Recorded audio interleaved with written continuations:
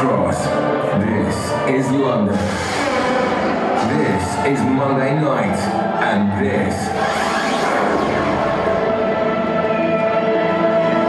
this is heaven.